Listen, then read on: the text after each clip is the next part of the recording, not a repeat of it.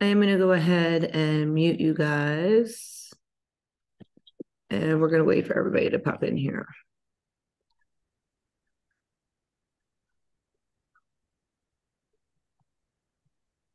Alexa, Island Lights white. Sorry, whoever has Alexa.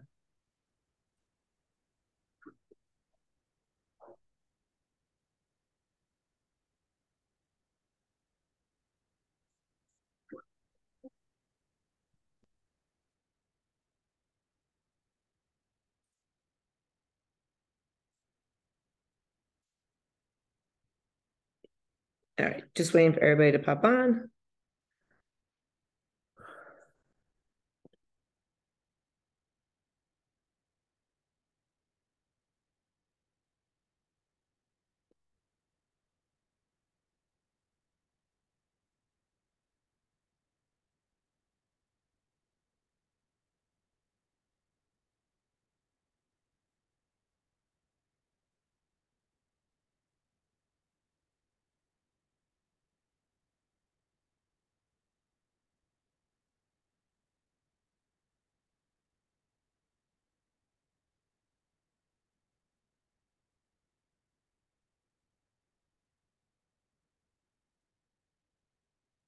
And we're going to give it a couple more minutes. I'm not sure where everybody is today.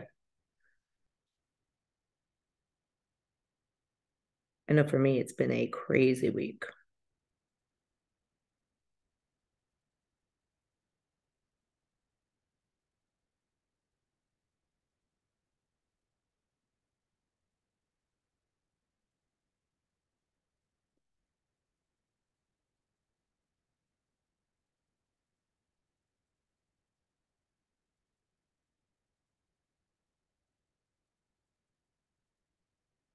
I'm looking for something to read to you guys.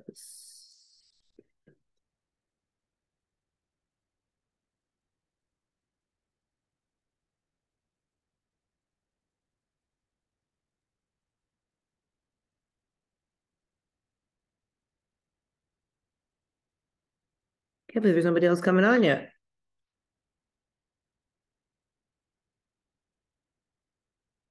Oh, I think I found it.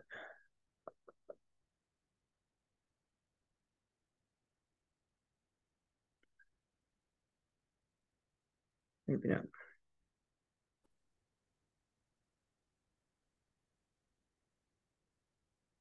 Might be a small intimate group today.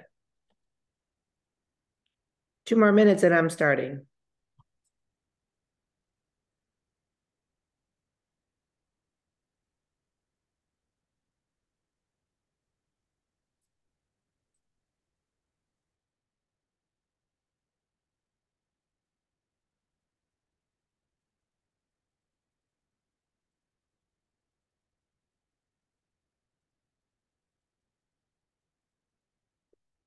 There was a message that I had.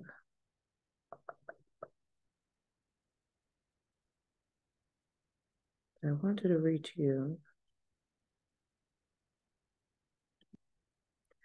And it was about the nutrition that they're the update they're doing. oh, I think I just damn it. Bummer. I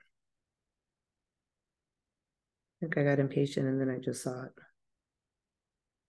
All right, we got one minute and we're getting started.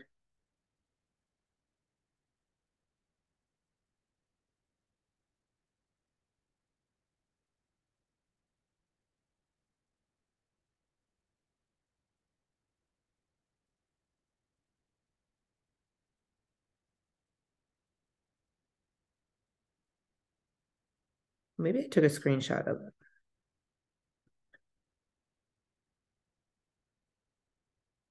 Not. Darn it. All right. I'm going to go ahead and get started. So hopefully people will start popping on. Um, first thing I was going to do is go over a couple of vision boards. I'm going to do mine because I never do my vision board.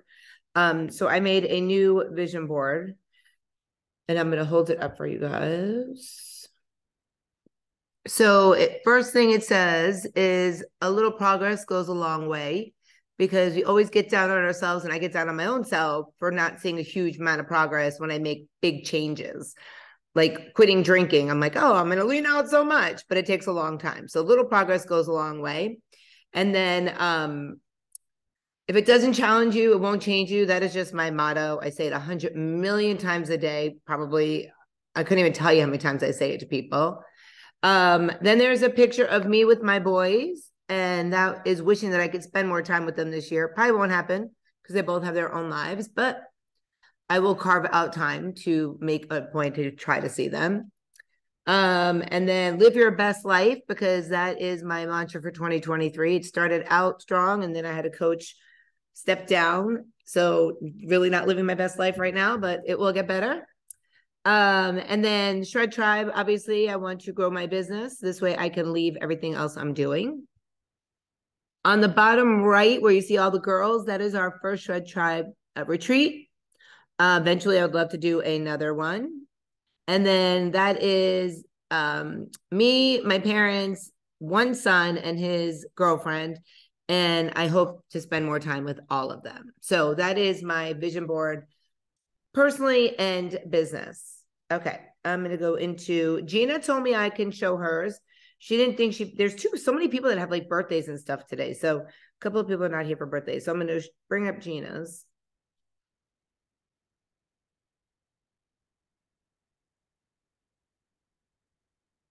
Today's meeting is about sleep, by the way. In case anyone was wondering.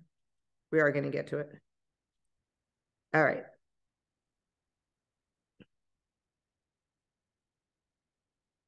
It's coming up. Okay. So Gina wants to incorporate more fitness into her daily life. She wants to read, which is great because we all let that go. This is her family. She has two beautiful boys and a husband. She wants to spend more time with them. Um, she wants to build her relationship with her her husband. They're she's strong marriage. She has a lot of love on her page.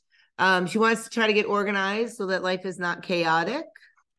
And she planned, and with, along with that, she plans to start doing a weekly planner. So she has a lot going on as well. I love how she incorporated um, her family along with her regular life and says sweet friendship refreshes the soul i'm assuming that means me and a couple of other people that we never have time she's one of my good friends and we never have time we plan for lunch we plan for lunch we plan for lunch and then it comes we're like oh i can't do it something came up so we literally see each other three times a year and we literally live 10 miles from each other it's sad but we all have lives and everything so um, i'll pretend that that one's for me but she wants to spend more time with friends. We'll just pretend.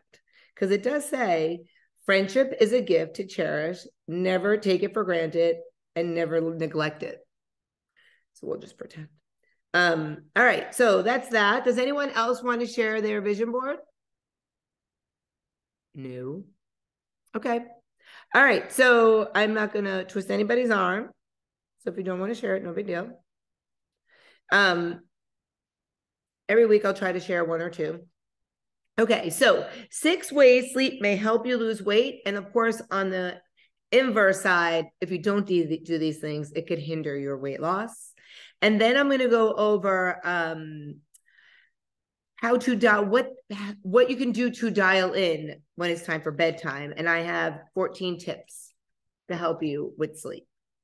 So I'm going to try to go through this pretty quickly. I noticed that my the last meeting, my timer didn't come on. Remember, I got cut off.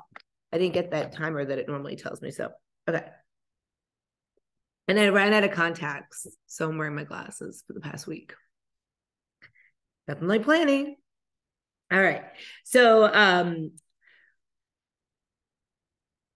when you get shorter sleep, it promotes weight gain. Short sleep, usually defined as fewer than six to seven hours, has been linked to a higher body mass index.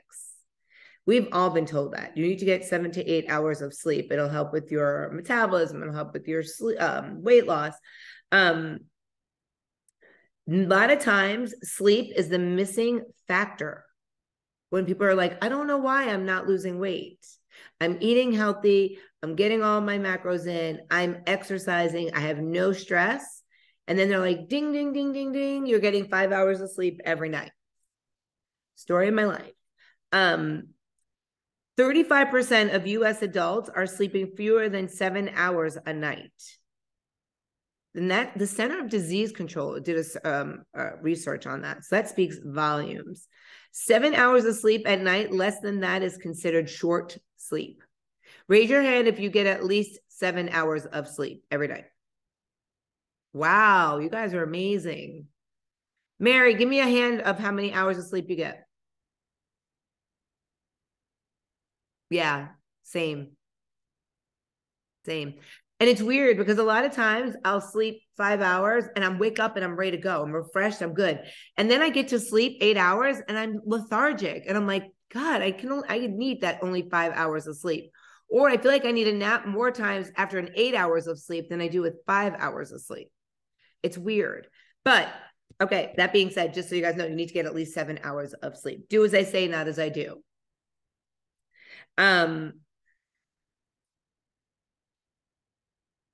short sleep duration with a study has shown to be associated with a greater waist circumference and more belly fat. That's pretty discouraging. studies have also found similar associations in children and adolescents, which is sad because obesity is up at least 33% in children and adolescents. And I train a little girl, she's 13, and I train her four days a week. Four. Okay. Um, and I work her hard. And then I'll say, Oh, what time did you go to sleep last night? She's 13, mind you. Oh, I went to bed around two. I'm like, in the morning? You don't have a bedtime like eight o'clock, nine o'clock. Uh, and then I said, What time do you get up? She goes, I don't know. My mom wakes me up around seven, seven thirty. I have to be at school by nine. She goes to private school. So I asked her mom, because I train her mom also on different days. And I was like, why doesn't this girl, I use her name, go to bed? Why does she go to bed so late? She goes, she stays on her phone and watches TikTok. So I'm obviously the, the devil because I told her mom, I'm like, you need to take the phone away from her at night. For one thing, she's probably doing horrible in school. She is gaining weight no matter how much we work out. She eats like shit. And it all comes down to not sleeping well, not getting enough sleep. Five hours sleep at 13? Horrible.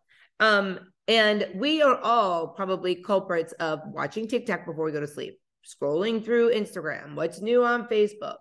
And I'm going to get to that in my next thing, but that does prevent us from sleeping. Um, it also has been associated with higher risk of obesity in different age groups. So infancy has a 40% increased risk if they don't get enough sleep. Let me let this person in. Uh, early childhood, 57% increased risk if you don't get seven hours sleep. Middle childhood, 123% increased risk. If you have a child that is middle childhood, I don't know what that really is, middle childhood. It's not adolescent, it's not teens um, they need to be getting their sleep. 123% increased risk. Um, I'm going to get off of this little soapbox. Um, so, through the lack of sleep, they have noticed and did studies that negative it has a negative effect on your hunger levels. So it increases your hunger. Um, it will influence a person to consume more calories from higher fat and higher sugar foods. Uh, it also will affect your hormone, um, your hunger hormone, which is called ghrelin. Um, it will increase it, which makes you feel hungry. And then it decreases your leptin, which will make you, which usually makes you feel full. So not only are you going to be lethargic, but it's going to increase that hunger hormone and it's going to decrease your decrease your when you're full hormone. Um, Getting enough sleep may help prevent increase in calorie intake and appetite that can happen when you are sleep deprived. Many studies have found that people who are sleep deprived report having an increased appetite and a higher caloric intake. That also goes hand in hand with you have more hours to eat. So you have to keep that in mind as well. Um, and I'm going to move on to the next one too. I'm just going to keep going. So when you get more sleep, it helps you make better food choices, your more sound mind. Um, Lack of sleep alters the way your brain works and can affect decision making. This would make it harder to make healthy food choices and resist tempting foods. Also, when we are tired, we are lazy and we're going to grab anything that looks like it will be good. We don't feel like cooking. Um, I was listening to a podcast and a lady said, I was so, she's a nutritionist um, that does a podcast, and she said that she went to visit her sister at her house and they were figuring out what to eat for dinner. And the sister's like, Well, I'm starving. Let's just order pizza. And she said, Sarah, sit down and think about what you just said. You're starving. You can't wait for food. So let's order pizza. How long is it going to take for that pizza to get here? 30 minutes. In that amount of time, you can cook healthy food and eat before the pizza even gets here. Right? And when you think about it, you're like, holy crap, that makes so much. Like, I've done that. Like, I'm starving. Let's just order food. And then you wait 40 minutes. And then you're like, really? I could have had turkey burgers, sweet potato fries, my normal food. It would have taken me 11 minutes. So, really, was I starving? Probably not. I was probably just exhausted, didn't feel like cooking, and was going to eat shit. Right. Um, in addition, the reward centers of the brain are more stimulated by food when you are sleep deprived. I think about when you go to visit people in the hospital and the nurse's station has all the donuts and stuff. And they're all eating them because they're exhausted. And they're like, let me give me that sugar. I'll get a rush. And they might not have bought them. Probably family members brought them for the nurse's station, but they're still eating them. Um, one study found that sleep deprived participants had greater reward related brain responses after viewing images of high calorie foods. Interesting, they were interestingly, they were also more likely to pay more for food than those who had adequate adequate sleep. Um, therefore, after a point out of sleep, not only is that bowl of ice cream more rewarding, but you'll likely have a harder time practicing self control. It has also been known that sleep depri- deprivation leads to increased smell sensitivity to higher calorie foods and greater consumption. So, crappy food smells better to you, not bad food, like crappy food, like food that's yummy, smells better to you than if you were to put a chicken and sweet potato fries when you're more when you're more sleep deprived. You're not going to make the sound decision. Um, Lack of sleep will give you poor food choices, higher calorie intake of foods, calories, sugar, fat to compensate for the lack of energy. And that's what I just talked about with the donuts with the nurses. Um, let me go to my next page of notes. Sleeping early can help prevent late night snacking.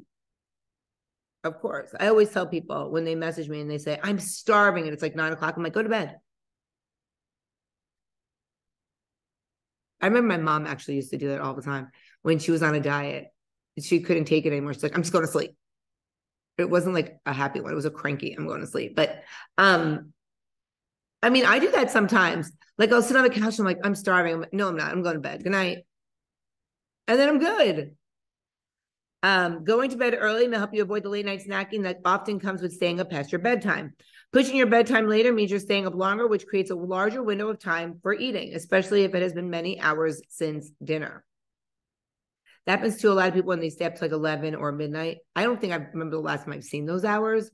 I mean, New Year's maybe, but I'm never, even on the weekends. Even when we go to a show, I fall asleep in the Uber on the way home at 10 o'clock. Um, if you eat dinner at 6 p.m. and you stay up to 1 a.m. every night, you're likely going to be hungry at some point between dinner and bedtime. If you're already experiencing sleep deprivation, you may be more likely to opt for less nutritious options. That's because sleep deprivation can increase your appetite and craving for higher calorie, high fat foods. Um, what's more, eating too close to bedtime, especially large meals, may decrease the quality of your sleep and make your sleep deprivation even worse especially if you have acid reflux, indigestion, or sleep disorders. Um, I also heard that if you eat chocolate before bed, it gives you nightmares.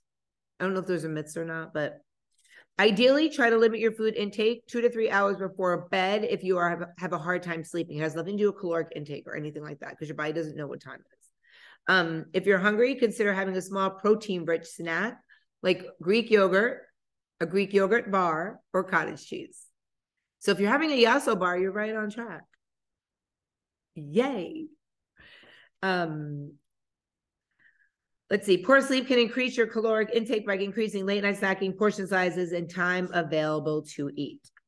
Um, potential benefits for your metabolism. Getting enough sleep may help you avoid decreases in your metabolism that can happen when you haven't gotten enough sleep. Your resting metabolic rate is the number of calories your body burns when at rest. We all know that. And this could be affected by your age, your weight, your height, your sex, your muscle mass, and also sleep duration. If you're if you're not giving your body enough time to get into your resting metabolic rate, it's not going to drop enough and you're going to have to eat more calories. And you don't want to do that. 47 participants looked at how sleep restriction affected their resting metabolism. And it real they realized that the experimental group that slept normally for two nights baseline, followed by five days of sleep restriction for four nights, had one night to catch up during sleep, and during which they spent 12 hours in bed. During the five days of sleep restriction, participants resting significantly decreased compared to the baseline. That means that if your your resting metabolism is what drives your daily intake, so if it crashes or goes up too high, it will th- throw throw off your daily caloric intake. Because when I do your your calculations, I use your RMR or I use your basal metabolic rate. Are you laughing because I can't talk? Are you laughing because you guys are sending each other texts about me not being able to talk? It's been a very long day. It's been a long week. So tired, and you're talking about sleep, and that's all I can imagine is going up to bed right now. it's almost time, almost eight o'clock. Um, I, listen, I feel your pain. I've been up since three twenty. Uh, let's see. I'll move on. Sleep can enhance physical activity. Sleep and physical activity have a close two way relationship. A lack of sleep decreases your physical activity. A lack of physical activity may lead to worsened sleep. I don't know how much that really affects everybody because I freaking work out all day long and I go on five hours sleep. So um, I'm not sure how that really works, but that's what it's. I understand it. Numerous studies have shown that regular exercise can decrease the time it takes you to fall asleep and increase the overall quality of sleep. That is 100% true. If you're on the Zoom right now and I put one like this, I can literally fall asleep and have no problem. You all could be talking right here on this Zoom. If I put my head down, I will fall asleep in seconds. Seconds. And I sleep straight through the night except to get up to pee. And then I don't remember getting up to pee. When I go back to bed, I go right back to sleep. Um, lack of sleep can cause daytime fatigue, duh, making you less motivated to exercise and more likely to be sedentary. You may expend fewer calories in a day when you're sleep deprived than if you would in a proper night's rest. This can make achieving a caloric deficit for weight loss even more difficult. Lack of sleep can negatively affect your athletic performance by increasing your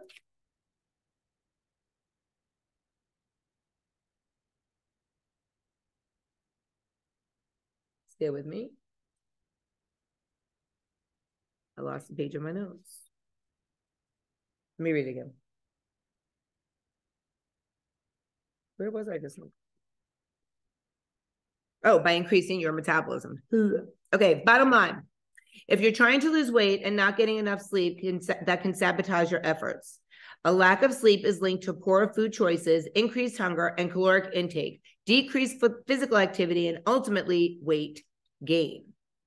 If your weight loss efforts are not producing results, it may be time to examine your sleep habits. Individual, though individual needs vary, most adults need seven to nine hours of sleep per night. Getting some much needed rest make all the difference in helping you achieve your weight loss goals. Tonight, try to be in bed at least 30 minutes earlier than you normally are. If you're not able to, try to, to read a book or listen to a podcast instead of scrolling on your phone or watching TV. All right. So now I'm going to give you some tips before you go to bed. I think I have like five minutes, right? I don't have my timer. Um, dialing your sleep is a major proponent for healthy weight loss, and it will help you bust through weight loss plateaus help with your mood, energy regulation, and more. So, banish blue light. Blue light is your TV, your computer, your phone screens. They make blue light glasses that will cut that out, by the way, if you have to be on a computer or phone late at night. Um, blue light is the same light that comes from the sun. Did you know that? So your body does not know that it's time to sleep because when the sun is out, your body thinks it's awake. Does anybody have blue light glasses?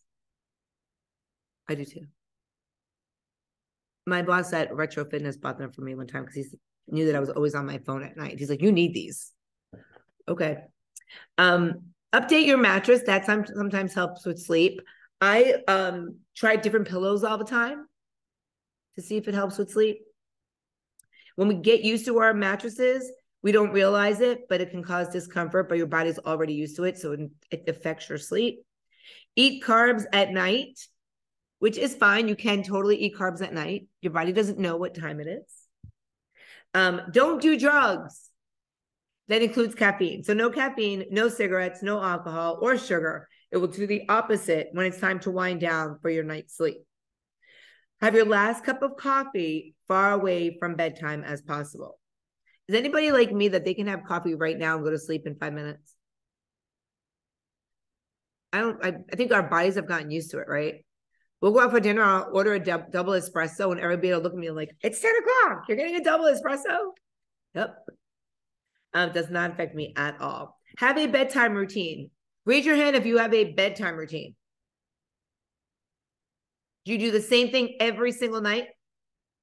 That's the one of the number one things about it. And I used to put um, habits in everybody's thing about bedtime routine, and then everybody asked me to take those out. But bedtime routines are super, super important. Creating a ritual before bed works wonders and tells your body it's time to sleep. This can include taking a warm bath or shower, reading a book, drinking tea, listening to soothing music, dimming the lights, washing your face, brushing your teeth, brushing your hair. I do I don't do all those things, but I do a lot of those things. Uh, stretching and rolling will help your sleep. A lot of times we'll get cramps or Charlie horse or any of those things, and your your body is sore. Aches, pains, and stiffness can make sleep uncomfortable and cause irritability. Stretching and rolling help reduce those aches and pains and improve your athletic and sleep performance. You can go on YouTube and Google stretching before bedtime. You can also go buy a foam roller at like TJ Maxx or Marshalls and like roll out your glutes, roll out your hamstrings, roll out your quads. That will relax your leg muscles, which is normally what keeps us awake because we get that restless leg. Even though you don't get restless leg, your legs are fatigued, they need to be rolled out. Uh, keep your bedroom cool. Your body likes to bring its core temperature down during sleep. If the room is too hot, sleep can be difficult. Turn on a fan or set your air conditioner to a cooler temperature before bedtime. You can also get a chill pad, which is designed to regulate your mattress's temperature. So you stay cool inside the bed. Anybody have a chill pad? Me either. Um, one of the uh, other podcasts, because I don't listen to the radio.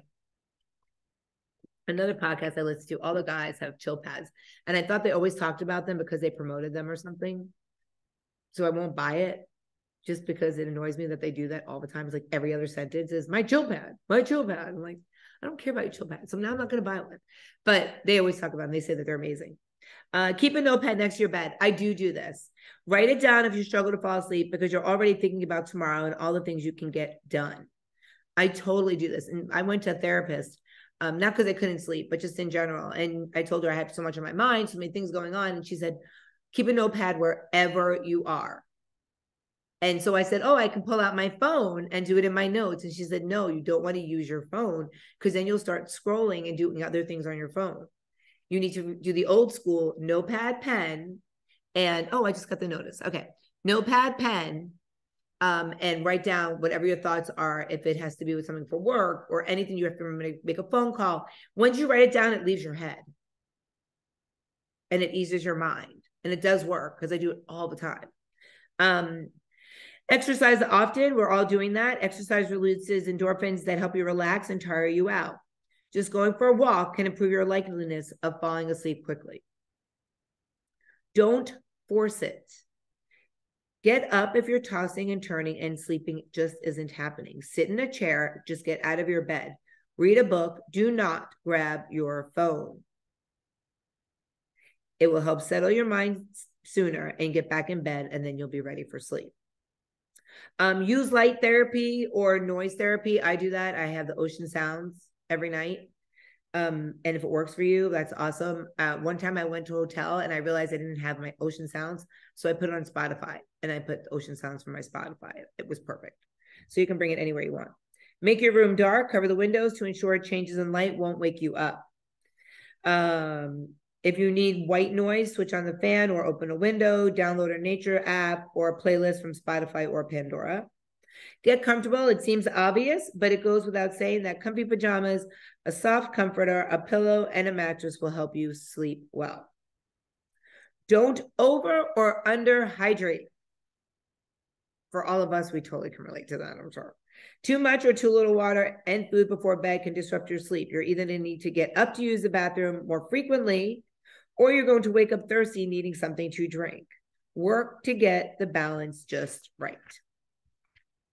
Who here feels like, and most of you on here are progressively losing weight, so, but who here feels like they can improve their sleep to help with their weight loss? I mean, I know obviously me and Mary were the only ones that are not getting the seven to nine hours of sleep. um, I mean, I do sometimes, but not every night. But like I said, I'd rather get five hours than seven to nine because my body likes it more. It's weird. I don't know. Okay. I opened up a new group in um, the app. It's the February workout of the day challenge. It's a week every day. There's a new uh, triple exercise that you can do. If you want to be in it, message me and I'll add you to the group. Um, I've been posting about it, but I don't know how much people are looking at the posts anymore. So I figured I would mention it in the meeting. Um, I love that you guys are all sharing recipes and stuff. I I hired a virtual assistant um from the Philippines. She's super, super nice. Actually, I have a meeting with her at 5 a.m. tomorrow morning on Zoom. Yeah. Because for them it's 6 p.m. Um, and she's making a new cookbook for me. And I, it's all my recipes and it's all, I want it to be your recipes too. And it, you will have a um from Stacy I or from Stacy Y, just so you have some, some like you could say that your, was your recipe. Um, so if you would send me your recipes, I would really, really appreciate it. Um, she already has like 20 recipes in there. I used all the ones that I've always that I um had published in a fitness magazine that's in my Facebook group and a couple of other ones. Um, and really, recipes can't be trademarked or copywritten because recipes float everywhere. So it's going to be a lot different recipes, no recipes that were in the first one, and um, a little bit different of a book as well. So um, please send me any recipes if you have them because you know I really don't cook. So mine are like more food hacks that are in there, um, but that's okay. I have a lot of air fryer stuff too, so no big deal. All right. Um, anybody else want to contribute anything before I get shut down? Is anybody going to go to bed 30 minutes earlier tonight? I am. Mike's in Orlando till tomorrow night. So I'm definitely getting off of this, taking the dogs for a walk, and going to bed. Um, all right. So I hope you guys all have an amazing night.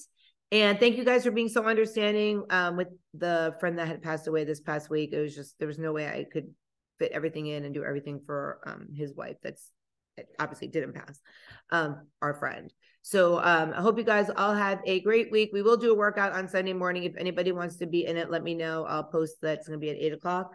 Um, and I think that's pretty much it. Hope you guys all have an amazing night. Thank you so much for coming on. Remember, always be badass. And I will see you guys. Bye, everyone.